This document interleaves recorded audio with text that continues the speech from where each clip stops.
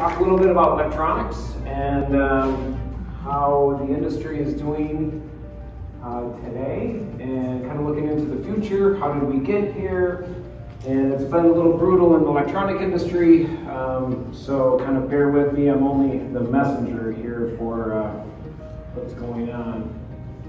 Have you ever experienced the market conditions as they are right now? Never.